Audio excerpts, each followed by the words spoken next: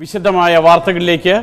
D G P Loknath ബെഹ്റയെ vigilance ഡയറക്ടറായി നിയമിച്ചത് ചട്ടം ലംഘിച്ചെന്ന റിപ്പോർട്ട്. ബെഹ്റയുടെ നിയമനം കേന്ദ്ര ആഭ്യന്തര മന്ത്രാലയം അറിയാതെയാണ്. ആറു മാസത്തിലധികമുള്ള നിയമനത്തിന് കേന്ദ്ര ആഭ്യന്തര മന്ത്രാലയത്തിന്റെ അനുമതി വാങ്ങിയിരിക്കണം എന്നാണ് വ്യവസ്ഥ. എന്നാൽ പതിനൊന്ന് മാസമായി വിജിലൻസ് ഡയറക്ടർ സ്ഥാനത്ത് ലോക്നാഥ് ബെഹ്റ തുടരുകയാണ്. വിവരങ്ങളുമായി കൊച്ചിയിൽ നിന്നും ഡാനി പോൾ ചേരുന്നു. ഡാനി വിജിലൻസ് ആസ്ഥാനത്ത് വിജിലൻസ് മേധാവിയായും ലോക്നാഥ് ബെഹ്റ തുടരുന്നതിനെതിരെ വിമർശനങ്ങൾ നിലനിൽക്കുന്നതിനിടെയാണ് പുതിയ വിവരാവകാശ രേഖ വരുന്നത്. ഈ രേഖയിൽ പറയുന്ന വിവരങ്ങൾ എന്തൊക്കെയാണ്? സുരേഷ് കേന്ദ്ര ആഭ്യന്തര മന്ത്രാലയം പുറത്തിറക്കുന്ന ഈ വിവരാവകാശ അതായത് അത് അപേക്ഷ പ്രകാരം നൽകുന്ന വിവരാവകാശ രേഖയിൽ നിന്ന് വളരെ കൃത്യമായി തന്നെ പറയുന്നുണ്ട്. അല്ലെ ക്രമസമാധാന പാലനത്തിന്റെ ചുമതലയാണ് ഡി ജി പി ലോക്നാഥ് ബെഹ്റയ്ക്കുള്ളത്. ഇദ്ദേഹത്തെ വിജിലൻസ് ഡയറക്ടറായി നിയമിച്ചത് ചട്ടം ലംഘിച്ച് തന്നെയാണെന്ന് വ്യക്തമാകുന്നു. അത് അവർ നൽകിയ മറുപടിയിൽ വ്യക്തമാകുന്നുണ്ട്. അതുമാത്രവുമല്ല ഇതിന് ഒരു അനുമതി കേന്ദ്ര കേന്ദ്ര ആഭ്യന്തര മന്ത്രാലയത്തിന്റെ അനുമതിയും ഇക്കാര്യത്തിൽ തേടേണ്ടതുണ്ട്. അങ്ങനെയാണ് ഐ പി എസ് നിയമപ്രകാരം ചെയ്യേണ്ടത്. പ്രത്യേകിച്ചും ഒരു മാസത്തെ ലീവ് വേക്കൻസിയിൽ ഒരാളെ നിയമിക്കണമെങ്കിൽ പോലും ഇത്തരം ആഭ്യന്തര മന്ത്രാലയത്തിന്റെ അനുമതി ആവശ്യമാണ്. ഈ- ഇത്തരത്തിലുള്ള ഒരു അനുമതി ബെഹ്റയുടെ കാര്യത്തിൽ ലഭിച്ചിട്ടില്ല നൽകിയിട്ടില്ല എന്നതാണ് വ്യക്തമാവുന്നത്. രണ്ടായിരത്തി പതിനേഴ് മാർച്ച് മുപ്പത്തി ഒന്നിനാണ് ജേക്കബ് തോമസിനെ ഈ സ്ഥാനത്ത് നിന്ന് മാറ്റിക്കൊണ്ട് വിജിലൻസ് ഡയറക്ടറായി ലോക്നാഥ് ബെഹ്റയെ സർക്കാർ അവരോധിക്കുന്നത്. പക്ഷേ ഇത് കാലക്രമേണ അത് നിയമനം അദ്ദേഹത്തിന്റേതായി വിജിലൻസ് ഡയറക്ടറായി ലോക്നാഥ് ബെഹ്റ തുടരുകയായിരുന്നു. ഒപ്പം ക്രമസമാധാനത്തിന് ചുമതലയും അദ്ദേഹത്തിനായിരുന്നു. അതായത് രണ്ട് സുപ്രധാനമായ തസ്തികൾ സംസ്ഥാന സർക്കാരിനെ സംബന്ധിച്ചിടത്തോളം പ്രത്യേകിച്ച് രണ്ട് സുപ്രധാനമായ തസ്തികകൾ ഒരാൾക്ക് നൽകിക്കൊണ്ട് തന്നെയാണ് ഈ രണ്ട് ചുമതലകളും ലോക്നാഥ് ബെഹ്റ വഹിച്ചിരുന്നത്. പക്ഷേ വിജിലൻസ് ഡയറക്ടറായുള്ള ഒരു അധിക ചുമതല നൽകുമ്പോൾ പാലിക്കേണ്ട കേന്ദ്ര നിയമങ്ങളുടെ യാതൊരുവിധ സാധുതയും ഇതിൽ പാലിച്ചിട്ടില്ല എന്ന് തന്നെയാണ് നിയമ വിവരാവകാശ നിയമപ്രകാരം നൽകിയ രേഖകളിൽ വളരെ വ്യക്തമാക്കുന്നത് റൈറ്റ് കൊച്ചിയിൽ നിന്നും ഡാനി പോളാണ് വിവരങ്ങൾ നൽകിയത്. വിവരാവകാശ നിയമപ്രകാരം ലഭിച്ച രേഖകളിൽ ലോകനാഥ് ബെഹ്റയെ വിജിലൻസ് മേധാവിയായി നിയമിച്ചത് കേന്ദ്ര ആഭ്യന്തര മന്ത്രാലയത്തെ അറിയിക്കാതെയാണെന്ന് വ്യക്തമാക്കുന്നു. മറ്റു വാർത്തയിലേക്ക് പറമ്പിക്കുളം ആളിയാറിൽ നിന്നും തമിഴ്നാട് കേരളത്തിന് വെള്ളം വിട്ടുതരാത്തതിൽ ശക്തമായ പ്രതിഷേധം. ഇടത് എം എൽ എമാർ ചിറ്റൂരിൽ ഉപവാസം ആരംഭിച്ചു. വിവരങ്ങളുമായി പ്രസാദ് ഉടുപ്പശ്ശേരിയാണ് ചേരുന്നത്. പ്രസാദ് ഇടത് എം എൽ എമാർ ചിറ്റൂരിൽ ഉപവാസം നടത്തുന്നു. അതേസമയം തന്നെ വെള്ളം കൊണ്ടുപോകുന്നത് തമിഴ്നാട് തുടരുകയുമാണ്. പ്രതിഷേധം എത്രത്തോളം ശക്തമാണ് പാലക്കാട്? സുരേഷ് വലിയ തോതിലുള്ള പ്രതിഷേധം തന്നെയാണ് ഉയർന്നിട്ടുള്ളത്. കേരളം നിരന്തരം ആവശ്യപ്പെട്ടിട്ടും തമിഴ്നാട് കരാർ പ്രകാരമുള്ള വെള്ളം നൽകാൻ പോലും തയ്യാറാകുന്നില്ല. അതോടൊപ്പം തന്നെ കഴിഞ്ഞ ദിവസം മുഖ്യമന്ത്രി ഈ ഇതുമായി ബന്ധപ്പെട്ടുകൊണ്ട് രണ്ട് തവണ തമിഴ്നാടിന് കത്തയച്ചിട്ടുള്ളതാണ്. എന്നിട്ടും അവർ ബാളിയാറിലേക്ക് വെള്ളം തുറന്നു വിടുകയോ ഒന്നും തന്നെ ചെയ്യുന്നില്ല. തമിഴ്നാടിന്റെ ഡാം ാണ് തമിഴ് അവർ ചെയ്യുന്നത്. ഇതിൽ പ്രതിഷേധിച്ചാണ് ഇപ്പോൾ ഇടത് എം എൽ എമാരുടെ നേതൃത്വത്തിൽ ചിറ്റൂരിൽ ഏകദിന ഉപവാസം നടക്കുന്നത്. Chittur M L A K Krishnankutty Nenmara M L A K Babu Alathur M L A K D Prasenan Kongad M L A Vijayadas എന്നിവരുടെ നേതൃത്വത്തിലാണ് സമരം തുടരുന്നത്. തമിഴ്നാടിന്റെ ഈ നടപടി ഒരു കാരണവശാലും അംഗീകരിക്കാനാവില്ലെന്നും കൂടുതൽ ശക്തമായ പ്രതിഷേധങ്ങൾ ഈ വിഷയത്തിൽ ഉയർത്തിക്കൊണ്ടുവരുമെന്നാണ് ഇവർ പറയുന്നത്. തമിഴ്നാട് നിലപാട് മാറ്റി കേരളത്തിന് അർഹമായ വെള്ളം നൽകാൻ വിട്ടു നൽകാൻ തയ്യാറാകണമെന്നും എം എൽ എമാർ ആവശ്യപ്പെട്ടു. റൈറ്റ്. പാലക്കാട് നിന്നും പ്രസാദാണ് ചിറ്റൂരിൽ നടക്കുന്ന സമരത്തിന്റെ വിവരങ്ങൾ നൽകിയത്. കേരളത്തിന് അർഹമായ ജലം വിട്ടു നൽകാത്ത തമിഴ്നാടിന്റെ നടപടിക്കെതിരെയാണ് പ്രതിഷേധം തുടരുന്നത്. ജമ്മു കാശ്മീരിൽ ഭീകരാക്രമണത്തിൽ മരണം മൂന്നായി. കാശ്മീരിലെ സുജ്വാൻ സൈനിക ക്യാമ്പിനു നേരെയായിരുന്നു ഭീകരരുടെ ആക്രമണം. ഭീകരർക്കായുള്ള തെരച്ചിൽ തുടരുകയാണ്. വിവരങ്ങളുമായി ഡൽഹിയിൽ നിന്നും എം ഉണ്ണികൃഷ്ണൻ ചേരുന്നു. ഉണ്ണികൃഷ്ണൻ ഏറ്റുമുട്ടൽ അല്ലെങ്കിൽ ഭീകരർക്ക് വേണ്ടിയുള്ള തെരച്ചിൽ മണിക്കൂറുകളായി തുടരുകയാണ്. ഭീകരാക്രമണത്തിന് പിന്നിൽ ആരാണ് എന്ന് ആഭ്യന്തര മന്ത്രാലയത്തിന് വ്യക്തമായിട്ടുണ്ടോ? എന്താണ് നൽകാൻ കഴിയുന്ന വിവരങ്ങൾ? സുരേഷ് ജെയ്ഷെ മുഹമ്മദാണ് ഈ ഭീകരാക്രമണത്തിന് പിന്നിലെന്നാണ് ലഭിക്കുന്ന വിവരം. ഇക്കാര്യത്തിൽ ഔദ്യോഗികമായുള്ള ഒരു സ്ഥിരീകരണം സർക്കാരിന്റെ ഭാഗത്തു നിന്നും ഉണ്ടായിട്ടില്ല. ജമ്മുകാശ്മീരിലെ സുഞ്ച്വാനിലെ സൈനിക ക്യാമ്പിന് നേരെയാണ് രാവിലെ നാല് അമ്പത്തഞ്ചോടെ ആക്രമണം ഉണ്ടായത്. സൈനിക ക്യാമ്പിലേക്ക് നാലോ അഞ്ചോ ആൾക്കാർ നുഴഞ്ഞു കയറുകയായിരുന്നു. ഇവർ ആദ്യം സൈനികർ താമസിക്കുന്ന മേഖലയിലേക്ക് തന്നെ കടക്കുകയും ആക്രമണം നടത്തുകയുമായിരുന്നു. ഈ സൈനികർ ഈ ഈ വിവരം അറിഞ്ഞതോടെ തന്നെ സൈന്യത്തിന്റെ നേതൃത്വത്തിൽ ഇവരെ തുരത്താനുള്ള നടപടികൾ ആരംഭിച്ചിരുന്നു. ആ ഒരു ഏറ്റുമുട്ടലിനിടെയാണ് മൂന്ന് പേർ മരിച്ചിരിക്കുന്നത്. ജെ സി ഒ റാങ്കിലുള്ള രണ്ട് രണ്ട് ഉദ്യോഗസ്ഥരും ഒരു സുബൈദർ റാങ്കിലുള്ള ഉദ്യോഗസ്ഥരും കൊല്ലപ്പെട്ടിട്ടുണ്ട് എന്നാണ് ലഭിക്കുന്ന വിവരം. അതോടൊപ്പം തന്നെ മറ്റ് ആറോളം പേർക്ക് പരിക്കേറ്റിട്ടുണ്ട്. ഈ പരിക്കേറ്റവരിൽ ഒരു പ്രദേശവാസിയും ഉൾപ്പെടുന്നുണ്ട് എന്ന് സർക്കാർ തന്നെ സ്ഥിരീകരിച്ചിട്ടുണ്ട്. നിയമസഭയിൽ സംസ്ഥാന മന്ത്രി നൽകിയ വിവരത്തിലാണ് ഇത്രയും പേർ മരിച്ചിട്ടുണ്ടെന്നും പരിക്കേറ്റിട്ടുണ്ടെന്നുമുള്ള ഔദ്യോഗിക സ്ഥിരീകരണം ഉണ്ടായിരിക്കുന്നത്. ഏതായാലും സൈനികരെ തുരത്തുന്നതിനായുള്ള ആക്രമണം തുടരുന്നു. കാരണം ഈ സൈനിക ക്യാമ്പിനകത്ത് ഇവർ ഒളിച്ചിരിക്കുന്നു എന്ന വിവരമാണ് ലഭിക്കുന്നത്. ആഭ്യന്തരമന്ത്രി രാജ്നാഥ് സിംഗ് തന്നെ ഇടപെടുകയും ഈ വിഷയത്തിൽ സൈന്യത്തോട് കൂടുതൽ ജാഗ്രത പുലർത്തിക്കൊണ്ട് ആവശ്യമായ നടപടികൾ സ്വീകരിക്കാനും നിർദ്ദേശിച്ചിട്ടുണ്ട്. ഉറി ഭീകരാക്രമണത്തിന് സമാനമായ രീതിയിലുള്ള ഒരു ആക്രമണമാണ് ഇന്നും കശ്മീരിൽ നടന്നിരിക്കുന്നത്. അഫ്സൽ ഗുരുവിന്റെ അഫ്സൽ ഗുരുവിനെ തൂക്കിലേറ്റിയതിന്റെ വാർഷികവുമായി ബന്ധപ്പെട്ട് ഇത്തരത്തിലുള്ള ആക്രമണങ്ങൾ ഉണ്ടാകുമെന്ന വിവരമുണ്ടായിരുന്നു. അതിനിടെ തന്നെയാണ് ഈ ആക്രമണം ആക്രമണം സംഭവിച്ചിരിക്കുന്നത്. ജമ്മു കാശ്മീരിലെ സൈനിക ക്യാമ്പിൽ ഭീകരാക്രമണം ഉണ്ടായിരിക്കുന്നു. മൂന്ന് സൈനികരാണ് വീരമൃത്യു വരിച്ചത്. അതേസമയം ഈ ആക്രമണം നടത്തിയിട്ടുള്ള ഭീകരരെ തുരത്താൻ കഴിഞ്ഞിട്ടുമില്ല. വിവരങ്ങളാണ് നൽകി ഉണ്ണികൃഷ്ണൻ നൽകിയത്. തെരഞ്ഞെടുപ്പ് പ്രചാരണത്തിനായി കോൺഗ്രസ് അധ്യക്ഷൻ രാഹുൽ ഗാന്ധി ഇന്ന് കർണാടകയിൽ എത്തും. പാർട്ടി അധ്യക്ഷനായ ശേഷം നടക്കുന്ന ആദ്യ നിയമസഭാ തെരഞ്ഞെടുപ്പ് എന്ന നിലയ്ക്ക് രാഹുലിന് വളരെ പ്രധാനപ്പെട്ട പോരാട്ടമാണ് കർണാടകത്തിലേത്. ഇന്ന് ബല്ലാരിയിലാണ് രാഹുൽ ഗാന്ധിയുടെ ആദ്യ പരിപാടി. തിങ്കളാഴ്ച വരെ രാഹുൽ ഗാന്ധി സംസ്ഥാനത്തുണ്ട്. ലിംഗായത്ത് വിഭാഗത്തിന്റെ പ്രധാന കേന്ദ്രമായ തുമഗുരുവിലെ ഗവി സിദ്ധേ സിദ്ധേശ്വര മഠം അടക്കമുള്ള ആരാധനാലയങ്ങൾ രാഹുൽ ഗാന്ധി സന്ദർശിക്കും. തെരഞ്ഞെടുപ്പ് ഹിന്ദുവിന് സ്വാഗതം എന്ന് ട്വീറ്റ് ചെയ്താണ് കർണാടകയിലെ ബി അധ്യക്ഷൻ യെദിയൂരപ്പ രാഹുൽ ഗാന്ധിയെ പരിഹസിച്ചത്. പലസ്തീൻ സന്ദർശനം നടത്തുന്ന പ്രധാനമന്ത്രി നരേന്ദ്രമോദി ഇന്ന് പ്രസിഡന്റ് മെഹമ്മൂദ് അബ്ബാസുമായി കൂടിക്കാഴ്ച നടത്തും. പലസ്തീന് പുറമെ യു എ ഇ ഒമാൻ തുടങ്ങിയ രാജ്യങ്ങളും നരേന്ദ്രമോദി സന്ദർശിക്കും. രണ്ട് ദിവസത്തെ സന്ദർശനമാണ് നരേന്ദ്രമോദി പലസ്തീനിൽ നടത്തുക. റമള്ളയിൽ ഇന്ത്യ നിർമ്മിക്കുന്ന സൂപ്പർ സ്പെഷ്യാലിറ്റി ഹോസ്പിറ്റലിന്റെ പ്രഖ്യാപനവും മോദി ഇന്ന് നിർവഹിക്കും. കൂടാതെ പലസ്തീൻ പ്രസിഡന്റ് മഹമ്മൂദ് അബ്ബാസുമായുള്ള കൂടിക്കാഴ്ചയും ഇന്നുണ്ടാകും. പലസ്തീൻ സന്ദർശിക്കുന്ന ആദ്യ ഇന്ത്യൻ പ്രധാനമന്ത്രിയാണ് നരേന്ദ്രമോദി. അടിസ്ഥാന സൗകര്യങ്ങൾ പോലുമില്ലാത്ത പലസ്തീൻ ജനതയ്ക്ക് മോദിയുടെ സന്ദർശനം സൗകര്യങ്ങൾ ഒരുക്കുന്നതിന് സഹായകമാകുമെന്ന് വിദേശകാര്യ മന്ത്രാലയം അറിയിച്ചു. സന്ദർശനത്തിലൂടെ ഇന്ത്യ പലസ്തീൻ നയതന്ത്ര ബന്ധം വളർത്തിയെടുക്കാൻ സാധിക്കുമെന്നും അധികൃതർ വ്യക്തമാക്കി. പലസ്തീൻ സന്ദർശനത്തിന് പുറമെ യു എ ഇ ഒമാൻ തുടങ്ങിയ രാജ്യങ്ങളും മോദി സന്ദർശിക്കും. International desk news eighteen. K S R T C pension ബാധ്യത സംസ്ഥാന സഹകരണ ബാങ്കിന്റെ നേതൃത്വത്തിലുള്ള കൺസോർഷ്യം ഏറ്റെടുക്കുമെന്ന് മുഖ്യമന്ത്രി പിണറായി വിജയൻ അതാത് പ്രദേശങ്ങളിലെ സഹകരണ ബാങ്കുകളിലൂടെ പെൻഷൻ വിതരണം ചെയ്യുമെന്നും മുഖ്യമന്ത്രി അറിയിച്ചു. എട്ടാമത് സഹകരണ കോൺഗ്രസ് കണ്ണൂരിൽ ഉദ്ഘാടനം ചെയ്യുകയായിരുന്നു മുഖ്യമന്ത്രി. കെ എസ് ആർ ടി സിയുടെ പെൻഷനുമായി ബന്ധപ്പെട്ട ഒരു പ്രശ്നമുണ്ടായി. ആ പെൻഷൻ വിതരണം ചെയ്യുന്നതിന് ഒരു നടപടി ഇപ്പോൾ സർക്കാർ സ്വീകരിച്ചിട്ടുണ്ട്. സംസ്ഥാന സഹകരണ ബാങ്കിന്റെ നേതൃത്വത്തിലുള്ള ഒരു കൺസോർഷ്യം അതിന്റെ ബാധ്യത ഏറ്റെടുക്കുകയും കേരളത്തിലെ സഹകരണ സംഘങ്ങൾ മുഖേന അതത് സ്ഥലത്തെ K S R T C പെൻഷൻകാർക്ക് pension തുക നൽകുകയും ചെയ്യുക എന്നതാണ് പരിപാടി. നോട്ട് നിരോധനത്തിന്റെ ഭാഗമായി സഹകരണ മേഖലയുടെ വിശ്വാസ്യത തകർക്കാനുള്ള ശ്രമമാണ് ഉണ്ടായതെന്ന് മുഖ്യമന്ത്രി പിണറായി വിജയൻ ഒന്നര ലക്ഷം കോടിയോളം നിക്ഷേപം നിലനിൽക്കുന്ന സ്ഥാപനത്തെയാണ് തകർക്കാൻ ശ്രമിച്ചത്. കേരള ബാങ്ക് എന്ന നിലയിൽ ബാങ്കിംഗ് മേഖലയെ കൂടുതൽ ശക്തിപ്പെടുത്തുമെന്നും മുഖ്യമന്ത്രി പറഞ്ഞു. സഹകരണ മേഖലയിൽ അർപ്പിച്ചിട്ടുള്ള വിശ്വാസ്യത എന്ന മൂലധനം.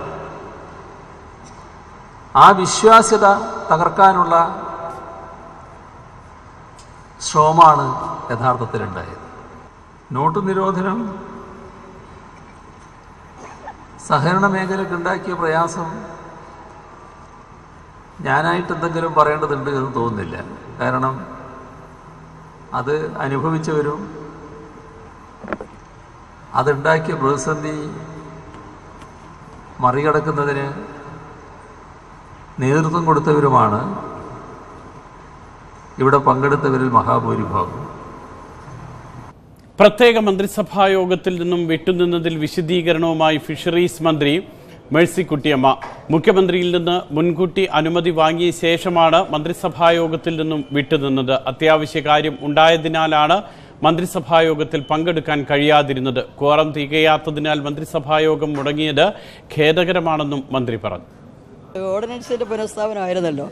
അപ്പോൾ അത്യാവശ്യം പേര് പൊക്കോളൂ എന്ന് സി എം പറഞ്ഞപ്പോൾ ഓരോരുത്തരും അവരോട് അത്യാവശ്യം പോയി നമ്പർ കൂടി പോയതുള്ളതാണ്. ഗൗരവമായി എടുത്തില്ലെന്നുള്ളതല്ല സ്പെഷ്യലായി വന്നൊരു ഇതാണല്ലോ. അപ്പോൾ ഇങ്ങനെ ഒരു മീറ്റിംഗ് വരുമെന്ന് ആരും മുൻകൂട്ടി കാണാത്തതുകൊണ്ട് പ്രോഗ്രാം നിശ്ചയിച്ചു പോയി. പക്ഷേ അതൊരിക്കലും ആവർത്തിക്കാൻ പാടില്ലാത്തതായിരുന്നു. ഖേദകരമായ ഒരു സംഭവം ഉണ്ടായിരുന്നു. വാർത്തകൾ തുടരുന്നു. എഴുതുന്നതിന്റെ പേരിൽ ഒരാളെ വേട്ടയാടുന്നത് അംഗീകരിക്കാനാകില്ലെന്ന് നോവലിസ്റ്റ് പെരുമാൾ മുരുകൻ. കേരള സാഹിത്യോത്സവത്തിനെത്തിയ പെരുമാൾ മുരുകൻ കോഴിക്കോട് ന്യൂസ് എയ്റ്റീനുമായി സംസാരിക്കുകയായിരുന്നു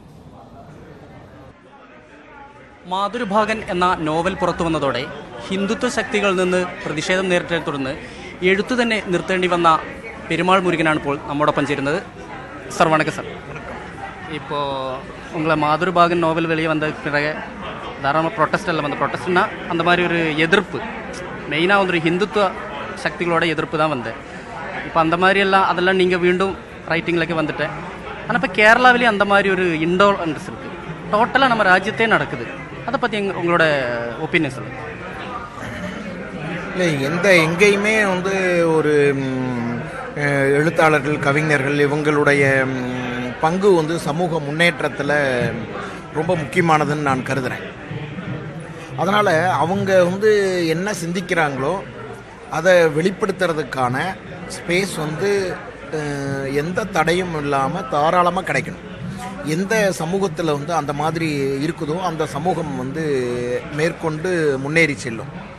ஆனால் அப்படி இல்லாமல் வந்து இந்த மாதிரி இப்போ எழுத்தாளர்களுக்கும் ஏதாவது ஒரு காரணத்தை வச்சு அவர்களுடைய எழுத்தை முடக்குவது அப்படிங்கிறது ரொம்ப வருத்தத்திற்குரிய ஒரு விஷயம். அதுவும் கேரளாவில் நடக்குதுங்கிறது உண்மையில் அது நான் எதிர்பார்க்காத ஒரு விஷயமா இருக்குது.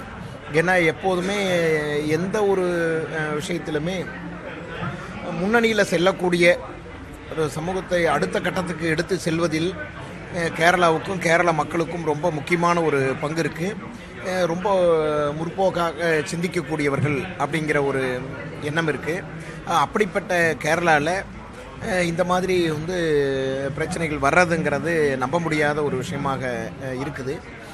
இதை கேரள சமூகம் நல்ல விதமாக எதிர்கொள்ளும்னு நான் நம்புகிறேன் இல்லை அது மாதிரி இப்போது நீங்கள் உங்களோட திருச்செங்கோடு கோயிலில் நடந்திருக்கிற ஒரு திருவிழாக்கு இடையில இடையில வந்து நடக்கிற ஒரு செக்ஷுவல் ரிலேஷன்ஷிப் தான் உங்களோட நாவலில் வந்திருக்கு.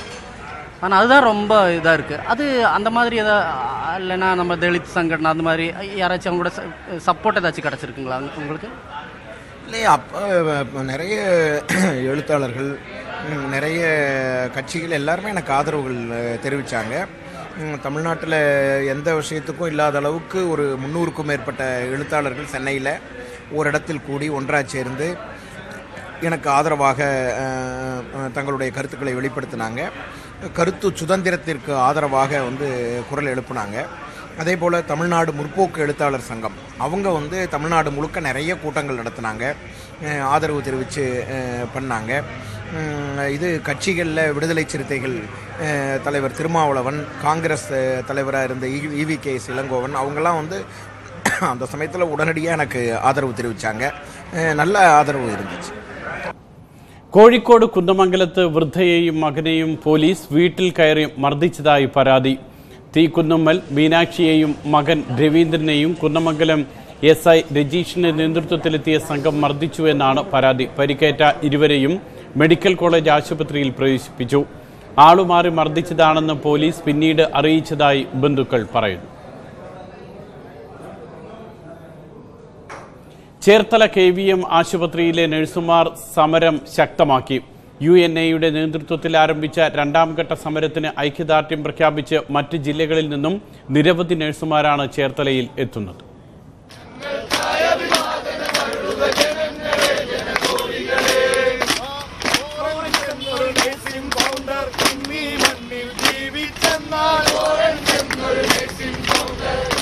ശമ്പള വർധനവ് അംഗീകരിക്കാനാവില്ലെന്ന നിലപാടിലാണ് കെ വി എം മാനേജ്മെന്റ്.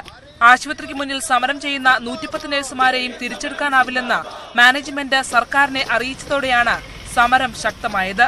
നിരാഹാര സമരത്തിനൊപ്പം വരും ദിവസങ്ങളിൽ കെ വി എം സമരത്തിന് ഐക്യദാർഢ്യമായി സംസ്ഥാന വ്യാപകമായി സ്വകാര്യ നഴ്സുമാർ പണിമുടക്കും നടത്തും. കെ പി എച്ച് എന്ന് പറയുന്ന management association K V M മാനേജ്മെന്റിന് കൃത്യമായി പിന്തുണ കൊടുക്കുകയും സംഘടിതമായി ഈ സമരത്തെ നേരിടുകയും അതുപോലെ തന്നെ ഈ സമരത്തിനെതിരെ ഒരു നിഷേധാത്മക നിലപാട് സ്വീകരിക്കുകയും ചെയ്യുമ്പോൾ ഞങ്ങൾക്ക് സമരമല്ലാതെ മറ്റു മാർഗങ്ങളില്ല. അതുകൊണ്ട് തന്നെ ഈ നിരാഹാര സമരത്തിന്റെ അവസാന ഘട്ടം എന്ന് പറയുന്നത് കേരളത്തിൽ ആരോഗ്യ മേഖലയിൽ സ്വകാര്യ ആരോഗ്യ മേഖലയെ പൂർണമായും പണിമുടക്കിക്കൊണ്ട് തന്നെയുള്ളതായിരിക്കും എന്നുള്ളതാണ് സംസ്ഥാന കമ്മിറ്റി തീരുമാനിച്ചിട്ടുള്ളത്. മിനിമം വേതനം ആവശ്യപ്പെട്ടുകൊണ്ടുള്ള സമരം നൂറ്റി എഴുപത്തിനാല് ദിവസം പിന്നിടുന്നു. മാനേജ്മെന്റും സർക്കാരുമായി നടത്തിയ ചർച്ച പരാജയപ്പെട്ടതോടെ യുണൈറ്റഡ് നഴ്സസ് അസോസിയേഷൻ സമരം ശക്തമാക്കുകയാണ്. വിവിധ ജില്ലകളിൽ നിന്നും നിരവധി നഴ്സുമാരാണ് കെ വി എം സമരത്തിന് ഐക്യദാർഢ്യം പ്രഖ്യാപിച്ചുകൊണ്ട് ആലപ്പുഴയിലേക്ക് എത്തുന്നത്. മാനേജ്മെന്റിന്റെ നിഷേധാത്മക നിലപാടുകൾക്ക് മുന്നിൽ മുട്ടുമടക്കില്ലെന്ന നിശ്ചയദാർഢ്യത്തിലാണ് ഈ നഴ്സുമാർ. ആലപ്പുഴയിൽ നിന്നും ക്യാമറമാൻ പി കെ പ്രശാന്തിനൊപ്പം ശരണ്യ സ്നേഹജൻ ന്യൂസ് എയ്റ്റീൻ. കഴിഞ്ഞ പത്തു വർഷത്തിനിടെ തൃശൂരിലെ വാൽപ്പാറ മേഖലയിൽ പുലി വകവരുത്തിയത് എട്ട് കുട്ടികളെ. കേരള തമിഴ്നാട് അതിർത്തി പ്രദേശമായതിനാൽ പ്രശ്നത്തിൽ ഇടപെടേണ്ടത് ആരെന്ന തർക്കമാണ് അനാസ്ഥയ്ക്ക് കാരണമെന്ന് നാട്ടുകാർ ആരോപിക്കുന്നു. കഴിഞ്ഞ ദിവസമാണ് വീടിന് മുന്നിൽ നിന്ന നാലര വയസ്സുകാരൻ സെയ്തുളിനെ പുലി പിടികൂടിയത്. എന്നാൽ ഇതുവരെ പുലിയെ പിടിക്കാനുള്ള യാതൊരു നടപടിയും അധികൃതർ സ്വീകരിച്ചിട്ടില്ല. നാട്ടുകാരുടെ പ്രതിഷേധത്തെ തുടർന്ന് പ്രദേശത്ത് ഒരു കെണി സ്ഥാപിക്കുക മാത്രമാണ് വനം വകുപ്പ് ചെയ്തത്. വാൽപ്പാറ ഉൾപ്പെടുന്ന മേഖല കേരള തമിഴ്നാട് അതിർത്തി പ്രദേശമായതിനാൽ പ്രശ്നത്തിൽ ഇടപെടേണ്ടത് ആരാണെന്ന തർക്കമാണ് വിഷയം സങ്കീർണമാക്കിയതെന്ന് നാട്ടുകാർ പറയുന്നു. പുലിയുടെ ആക്രമണത്തിൽ കൊല്ലപ്പെട്ട എട്ട് കുട്ടികളും പത്തു വയസ്സിന് താഴെയുള്ളവരാണ്. തോട്ടം തൊഴിലാളികളാണ് മേഖലയിൽ ഭൂരിഭാഗം വസിക്കുന്നത്. മാതാപിതാക്കൾ രാവിലെ തോട്ടത്തിലേക്ക് പോകുന്നതോടെ മിക്ക വീടുകളിലും കുട്ടികൾ ഒറ്റയ്ക്കാകാറാണ് പതിവ്. എന്നാൽ വീണ്ടും പുലി ആക്രമണം ഉണ്ടായതോടെ പലരും ജോലിക്ക് പോകുന്നില്ല. തങ്ങളുടെ കുട്ടികളുടെ സുരക്ഷ ഉറപ്പാക്കാൻ സർക്കാർ അടിയന്തരമായി ഇടപെടണമെന്നാണ് നാട്ടുകാരുടെ ആവശ്യം. വളർത്തുമൃഗങ്ങളെ ആക്രമിക്കുന്ന സംഭവങ്ങളും പ്രദേശത്ത് പതിവാണ്. News eighteen Thrissur. സംസ്ഥാനത്തെ ആദ്യ തുരങ്കപാതയായ കുതിരാൻ ഉദ്ഘാടനത്തിന് ഒരുങ്ങുകയാണ്. ഒന്നാം തുരങ്കത്തിന്റെ നിർമ്മാണം ഈ മാസം പൂർത്തിയാകും. അടുത്ത മാസത്തോടെ രണ്ടാമത്തെ തുരങ്കത്തിന്റെയും നിർമ്മാണം പൂർത്തിയാകുമെന്ന് കമ്പനി അറിയിച്ചു. തൊള്ളായിരത്തി ഇരുപത് മീറ്റർ നീളമുള്ള രണ്ട് തുരങ്കങ്ങളാണ് കുതിരാനിൽ നിർമ്മിക്കുന്നത്. ആദ്യ തുരങ്കത്തിനുള്ളിലെ ജോലികൾ പൂർണമായും കഴിഞ്ഞു. അവസാനഘട്ട ജോലികളാണ് ഇപ്പോൾ പുരോഗമിക്കുന്നത്. അടുത്ത മാസത്തോടെ രണ്ട് തുരങ്കങ്ങളും പൂർത്തിയാക്കാനാണ് ലക്ഷ്യമിടുന്നത്. തുരങ്കത്തിലെ അഗ്നിസുരക്ഷാ സംവിധാനങ്ങളെല്ലാം തയ്യാറായി. സീബ്ര വരകൾ തയ്യാറാക്കുന്നതും ഡ്രൈനേജ് സംവിധാനത്തിന്റെയും അവസാനഘട്ട ജോലികളാണ് ഇപ്പോൾ നടക്കുന്നത്. സർക്കാർ നിർദ്ദേശിക്കുന്ന മികച്ച നിലവാരമുള്ള അഗ്നിസുരക്ഷാ സംവിധാനങ്ങളാണ് കുതിരാനിലുള്ളത്. വിശാഖപട്ടണം ആസ്ഥാനമായി പ്രവർത്തിക്കുന്ന പ്രഗതി കൺസ്ട്രക്ഷൻസിനാണ് നിർമ്മാണ ചുമതല. ഏകദേശം ഒരു മൂന്ന് കിലോമീറ്ററോളം ലാഭം കിട്ടും. ഈ ഒന്നാമത് ഹിൽ ഏരിയ മറ്റുള്ള പ്രശ്നങ്ങൾ ഇവിടെ ഉള്ളത് കൊണ്ട് ഒരു ചരിത്ര സംഭവമാണല്ലോ. ഈ ട്രാഫിക് പ്രോബ്ലം മറ്റുള്ള പ്രോബ്ലങ്ങളുണ്ട്. അതുകൊണ്ട് എൻ എച്ച് അതോറിറ്റി ഒരു തീരുമാനമെടുത്തു. ഇത് കുറയ്ക്കാനുള്ള യാത്ര ചെയ്യാൻ ബുദ്ധിമുട്ടുള്ളത് കുറയ്ക്കാനുള്ള ഏർപ്പാട് ചെയ്തതാണ് ഈ കുതിരാൻ തുരങ്കം. തൊഴിലാളി സമരം കാരണം പലതവണ തുരങ്കപാതയുടെ പണി നിർത്തിവെക്കേണ്ടി വന്നിരുന്നു. എങ്കിലും വലിയ തടസ്സങ്ങളില്ലാതെയാണ് ഇപ്പോൾ പൂർത്തിയാകുന്നത്. തൃശൂർ ജില്ലാ കളക്ടർ എ കൗശികൻ തുരങ്കം സന്ദർശിച്ച പദ്ധതി പ്രവർത്തനം വിലയിരുത്തിയിരുന്നു. പാലക്കാട് തൃശൂർ ജില്ലകളിലൂടെയുള്ള ചരക്കു നീക്കത്തിനും ജില്ലയിലെ ടൂറിസം രംഗത്തിനും പദ്ധതി ഉണർവ് നൽകും. സംസ്ഥാനത്തെ ആദ്യ തുരങ്കപാത യാഥാർത്ഥ്യമാകുവാൻ ഇനി ദിവസങ്ങൾ മാത്രമാണ് അവശേഷിക്കുന്നത്. പുതിയ പാത വഴി തുറക്കുന്നതോടെ പാലക്കാട് തൃശൂർ റൂട്ടിലെ ഏറ്റവും ദുർഘടമേറിയ കുതിരാൻ മലകയറ്റം തന്നെ ഇല്ലാതാവുകയാണ്. തുരങ്കപാതയിൽ നിന്ന് ക്യാമറമാൻ അനിൽ നീലേശ്വരത്തോടൊപ്പം ടാനി പോൾ ന്യൂസ് എയ്റ്റീൻ തൃശൂർ. ഗുരുതരമായ വൃക്കരോഗം ബാധിച്ച ഏറ്റുമാനൂർ സ്വദേശിയായ യുവാവ് സുമനസ്സുകളുടെ സഹായം തേടുന്നു. ഡയാലിസിസിനും ചികിത്സയ്ക്കും അടക്കം പ്രതിമാസം ഇരുപത്തി അയ്യായിരം രൂപയോളമാണ് ഈ നിർധന കുടുംബം കണ്ടെത്തേണ്ടത്.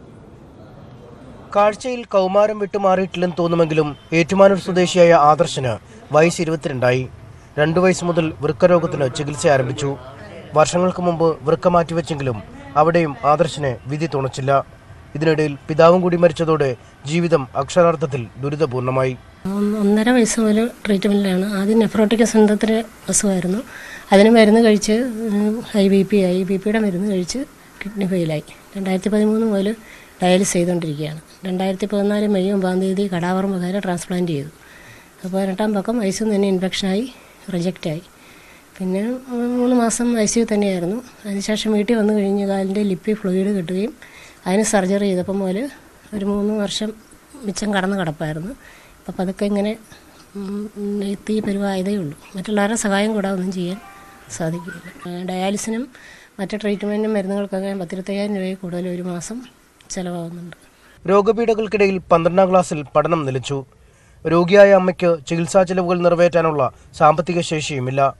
നാട്ടുകാരുടെയും ചില സന്നദ്ധ സംഘടനകളുടെയും സഹായത്തിലാണ് ജീവിതം മുന്നോട്ട് നീങ്ങുന്നത്. സുമനസ്സുകളുടെ സഹായത്താൽ ശസ്ത്രക്രിയക്കുള്ള പണവും വൃക്കദാതാവിനെയും ലഭിച്ചാൽ ജീവിതം വീണ്ടും കരുപ്പിടിപ്പിക്കാമെന്ന പ്രതീക്ഷയിലാണ് ഈ കുടുംബം. News eighteen Kottayam. പെട്രോളിന്റെയും ഡീസലിന്റെയും എക്സൈസ് നികുതി വർദ്ധിപ്പിച്ച് കേന്ദ്ര സർക്കാർ സാധാരണക്കാരുടെ രക്തം ഊറ്റുകയാണെന്ന് മുൻ കേന്ദ്ര ധനമന്ത്രി പി ചിദംബരം. പെട്രോൾ വില ബാരലിന് എഴുപത് ഡോളർ ആയാൽ എന്ത് ചെയ്യുമെന്ന ചോദ്യത്തിന് കേന്ദ്രത്തിന് മറുപടിയില്ല ഈ സർക്കാരിന് വില കൂട്ടുക എന്ന കാര്യം മാത്രമേ അറിയൂ ലോകം സാമ്പത്തിക വളർച്ചയിലേക്ക് കുതിക്കുമ്പോൾ ഇന്ത്യ പുറകിലേക്കാണ് പോകുന്നത് എന്നും ചിദംബരം കൊച്ചിയിൽ പറഞ്ഞു duty and keep the prices at the same level?